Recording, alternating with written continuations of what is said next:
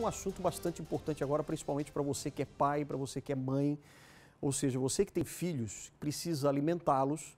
Você sabe o quanto é difícil, né?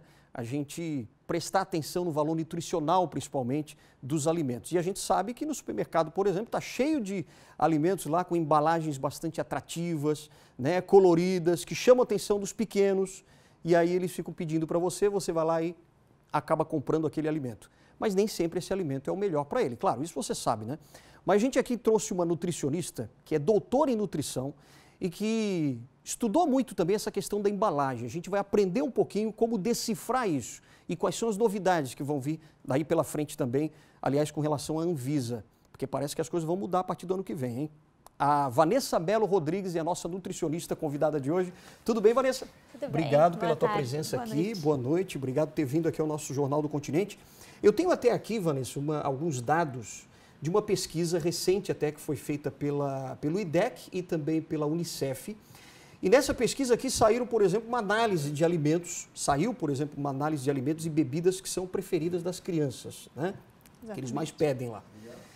Por exemplo, os sucos, aqueles de caixinha, parecem 81%, com 81% da preferência da criançada, hein?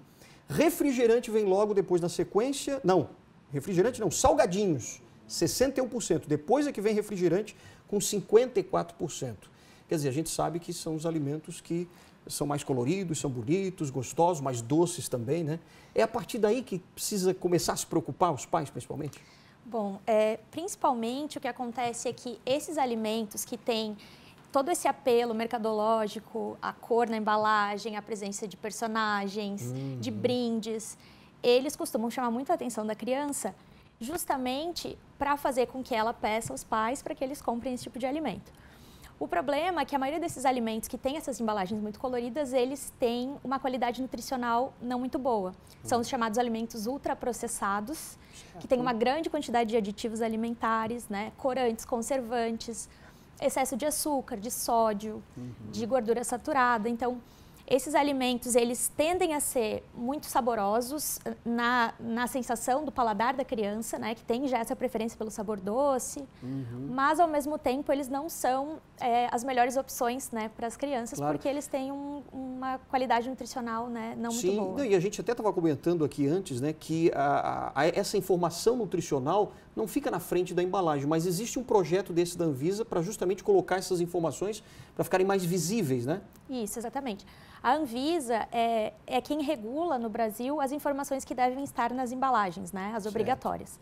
E atualmente o que acontece é que não existe uma obrigatoriedade de existir uma, as informações na parte frontal da embalagem quanto à parte nutricional do alimento. Então aparece só na parte de trás do alimento a tabela nutricional e a lista de ingredientes. E quase as pessoas nem leem isso, né? Exatamente. Esse é o problema. E é muito difícil, né? Porque as, as letras, elas costumam ser muito É pequenas verdade. é né? verdade. e às vezes os termos utilizados também são confusos. Uhum. Então, às vezes os próprios especialistas, né, os nutricionistas não conseguem decifrar o que está ali. E a ideia é fazer valer isso daqui a quanto tempo, mais ou menos? A ideia é que a partir do final do ano que vem entre em vigor essa nova proposta da Anvisa. Ela está em consulta pública, inclusive. Opa! A população pode se manifestar, né? Ler lá quais são as propostas da Anvisa. E a principal é trazer para a parte da frente da embalagem alertas quanto ao excesso de sódio, de gordura saturada e de açúcar. Opa! Então- Então, a pessoa pode entrar no site, é no site da Anvisa que, que, que a gente consegue Isso, ver exatamente. O site da Anvisa. E aí lá está a consulta pública sobre rotulagem nutricional. Que legal, então você pode dar a sua opinião. Pode. Atenção pais e mães, né? Que precisam equilibrar um pouco a alimentação dos filhos. Mas a gente também estava conversando um pouquinho antes, Vanessa, sobre essas dicas, né? Orientação de as pessoas lerem um pouco esses rótulos. Quais são as dicas que você dá para os pais? Bom, principalmente tentar não cair nas armadilhas Uhum. das embalagens, né?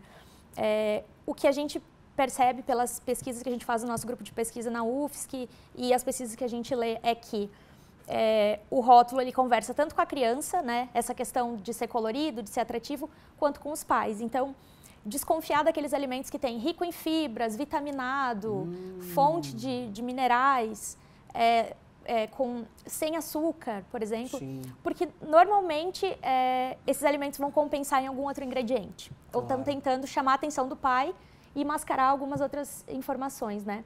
E a lista de ingredientes também seria o nosso principal aliado, apesar de ser difícil, né?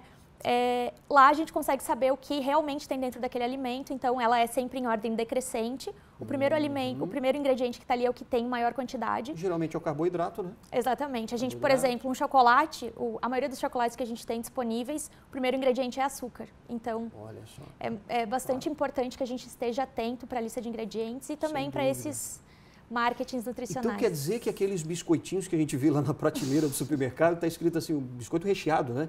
É, vitaminado, vitamina B, vitamina B12, sei lá o que mais e tal. Mas isso é balela. Na maioria das vezes é balela, é isso? Ahn, na verdade, a, há a adição de vitaminas e minerais. Existe Certo. sim. é, a indústria ela não pode colocar nada que. Não pode Pois é, falar isso ia nada.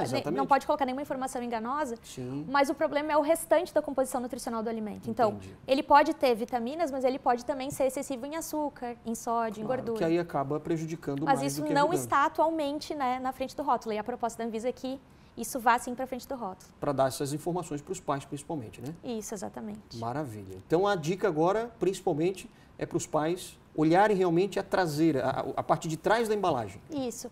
E se a gente pudesse né, dar uma dica assim de ouro, seria evitar alimentos que têm embalagem, né? Buscar sempre aquele alimento in natura, o alimento Claro. da época, né, que é mais barato. E a gente tem uma abundância né, do Brasil de frutas, legumes, verduras, de né, várias opções que a gente poderia trabalhar e que seriam mais saudáveis assim dúvida, e né? auxiliar a É um saúde problema infantil. de hábito também, né? As pessoas Também. precisam cultivar esse hábito. Exatamente. Tá certo. Vanessa, obrigado Obrigada. muito, obrigado pelo seu, eh, pela sua vinda aqui, né? E também por esclarecer aqui alguma, alguns pontos para a gente em relação principalmente à Anvisa. Obrigado mesmo. hein? Obrigada. Boa noite para você, bom noite. trabalho.